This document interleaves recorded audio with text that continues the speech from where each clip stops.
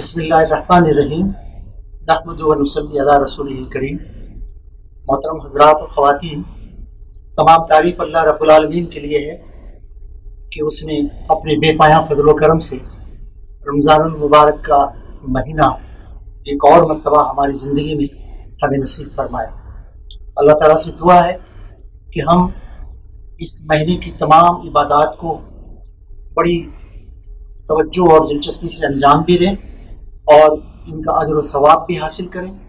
और इन इबादत के जो असल मकासद हैं तस्किया तरबियत, अपनी शख्सियत का इरतका और उसकी तकमील अल्लाह ताला की रज़ा और खुशनुदी और अपने आप को जहन्नम की आग से बचाकर अल्लाह की जन्नत में जाने के काबिल बनाना, ये सारे मकासद हमें हासिल मोहतरम हजरात और ख़वाती इस वक्त मेरी गुफ्तु का उनवान है और इसके हालात।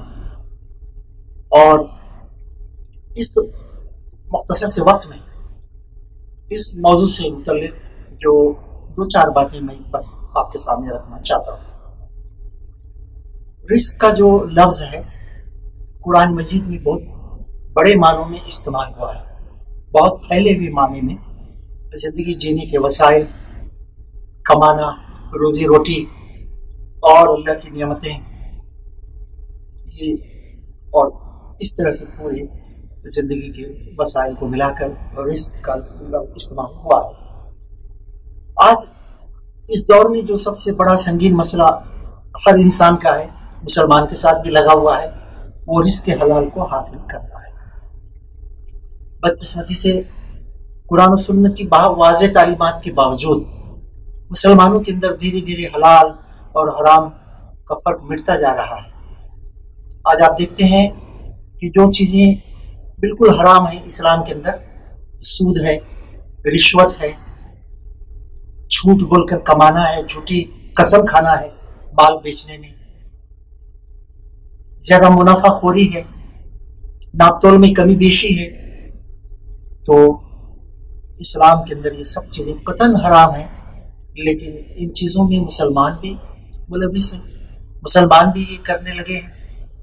तो इसमें कुरान की तालीम को हमें सामने रखना है कि वो हराम तरीके से कमाए हुए माल को रिस के हलाल कहता ही नहीं और हदीसों में इसकी वजाहत की गई कि जो जिसम हराम रोजी पर पलेगा, वो जन्नत में दाखिल नहीं होगा। अभी हदीस उन साहबा इकराम, साहबियात के सामने बयान की गई जो जिनसे बढ़कर रिस्क हलाल का अहतमाम करने वाले, इस्लामी इबादत का अहतमाम करने वाले कोई दूसरे नहीं हो सकते। क्यामत तक नहीं हो सकते। ऐसी पाकिजा अजीम हस्तियों के सामने ये बात बयान की गई।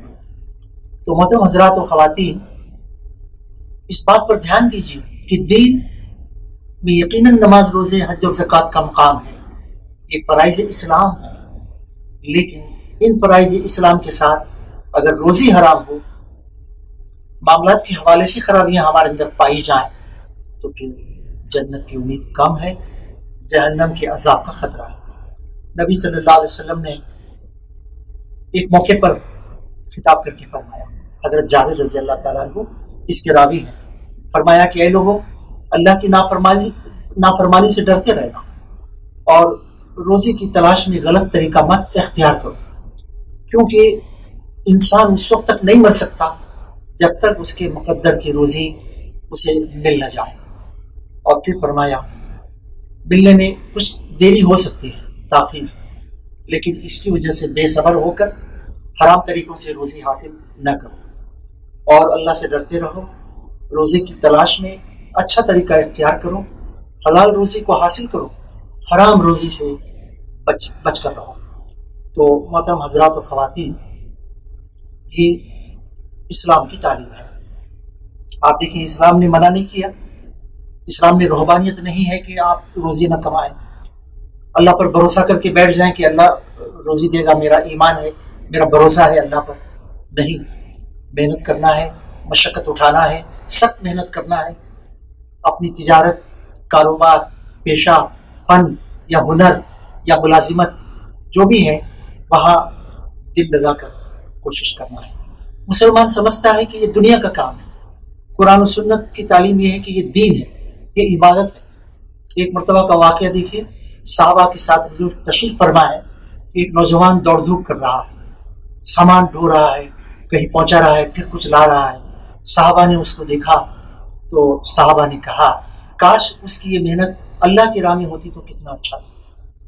हजूर अलैहि ने उसी वक्त इसकी रहनुमाई फरमाई, तरबियत फरमाई कि अगर ये नौजवान ये दौड़ धूप इसलिए कर रहा है कि रिस्क हलाल हासिल करके अपनी और अपने बीवी बच्चों का पेट भरे और इस रिस्क हलाल के ज़रिए से वालदेन की ज़रूरतों को पूरा करे और इस रिस्क हलाल के ज़रिए से वो किसी के आगे भीख मांगने के लिए न हो, बल्कि इतनी रोजी हो कि वो अपनी रोजी, अपनी इखराया खुद चला सकता हो तो हजूर अलैहि ने फरमाया कि अल्लाह की राह लेकिन अगर ये दौड़ धूप इसलिए कर रहा है कि रोजी हासिल करके पढ़ाई कायम करे और दिखावा करे या लोगों में कोई शहरत हासिल करे तो ये शैतान की राह है। तो हज़रत और ख़वातीन, इस मामले में मेरा ख्याल है ख़वातीन को भी बहुत साथ लेना चाहिए कि हम अपने घर की ज़रूरियात के लिए गलत तरीके से रोज़ी हासिल नहीं करेंगे। हमारे घर में अगर कोई ऐसी चीज़ जो बहुत ज़रूरी नहीं है। अगर वो न भी हो तो हम उसके बगैर ज़िंदगी गुजार लेंगे। लेकिन हराम तरीके से, रिश्वत से, सूद से, झूठ बोलकर, या धोखा देकर, या मामले में बदयानती करके हम रोज़ी हासिल करके अपने घर को चीज़ों से नहीं भर लेंगे। क्योंकि हदीस में बताया गया कि जो जिसम हराम रोज़ी पर पला है, उसकी नमाजें, उसके सदक़े, उसके खैरात सब के सब आखिरत में वो माल के साथ जहन्नम में झोंके जाएँगे। ये कितनी खौफनाक, यानी रोटे खड़े कर देने वाली बात है। तो इसीलिए हमारी इस बात की पूरी कोशिश होना चाहिए कि रमज़ान में ख़ास तौर पर, अगर हम चाहते हैं कि रोज़ा कबूल हो जाए, तरावी की नमाज़ मकबूल हो, जो हम घर में पढ़ रहे हैं, करोना वायरस की वजह से तो जो भी इबादत हम कर रहे हैं, घर में कुरान की तिलावत, ये सब अगर अल्लाह के पास कबूल होना है और इससे आगे बढ़कर दूसरों के हम काम भी आएँगे, लोगों को कुछ रोज़ा खुलवाएँगे, किसी की पैसों से मदद करेंगे, किसी के लिए दुआ करेंगे, किसी को अच्छा मशवरा देंगे, किसी की बीमारी में दौड़ धूप करेंगे तो ये सारी नेकियाँ, सारी भलाइयाँ उसी वक्त पैदा पहुंचाएँगे जब हमारी रोज़ी हलाल हो और हम हराम रोज़ी से बचें। इसके लिए हमें अल्लाह से दुआएँ भी मांगना चाहिए। और हराम रोज़ी से याद रखिए, ज़िंदगी में बरकत नहीं होती। माल में बरकत नहीं होती। मुख्तलिफ़ किस्म के हादसा पेश आते हैं। मसाइल खड़े होते हैं ज़िंदगी में। हलाल रोज़ी थोड़ी सी ही सही। बहुत आलिशान चीज़ें हमारे घर में न सही। हम सादी सीधी ज़िंदगी बसर करें। लेकिन जन्नत में अल्लाह ताला के पास बहुत अजीम शान, महल, वहाँ नियामतें, सब कुछ अल्लाह ताला के पास हमें वहाँ अता किया जाएगा, हासिल होगा। और हमारी सारी ज़िंदगी की इबादतें कबूल होंगी। ये कितना बड़ा ये ट्रेजडी होगी कि एक मुसलमान ये समझे कि वो हराम तरीके से रोज़ी ठीक ही कर रहा है, कुछ बहुत बड़ी गलती नहीं कर रहा है, और बीवी बच्चों का पेट भरे, और माँ बाप को भी देखे, खैर खैरात भी करे, और जक़ात भी निकाले, सदकात भी दे। लेकिन मरने के बाद उसे पता चला, उसकी रोज़ी में हराम था, रोज़ी हराम तरीके से वो कमा रहा था, और कोई एक इबादत भी कबूल नहीं की गई। तो इसलिए हम इस बारे में बहुत एहतियात करें। जो भी हलाल रोज़ी कमा रहे हैं, उसमें फजूल खर्ची नहीं होना चाहिए, दिखावा नहीं होना चाहिए, इसराफ किसी तरह का नहीं होना चाहिए, और कभी भी माल, दौलत, ये रोज़ी हमारा मबूद न बने कि हम ज़िंदगी उसी के लिए लगाएँ। मोहतरम हजरात और ख़वातीन, मैं अपनी बात को ख़त्म कर रहा हूँ और दुआ भी करता हूँ कि अल्लाह ताला हम सब के रोज़ों में बरकत अदा करे। दुआएँ भी कबूल फरमाए। ख़ास तौर पर कोरोना वायरस की इस वबा से हमारे मुल्क को इंसानियत को, सारी दुनिया को बचाए। अल्लाह ताला जल्द से जल्द ये वबा चली जाए। रमज़ान में ये दुआ है। आखिरी बात ये भी है कि हमें रिस्क हलाल के साथ दावत दीन का काम गैर मुस्लिम भाइयों में करना है और उन तक इस्लाम के पैगाम को पहुँचाना है। अल्लाह ताला हम सब की मदद फरमाए। बहुत बहुत शुक्रिया। जजाकल्ला खैर। वाखुर दावाना अनिल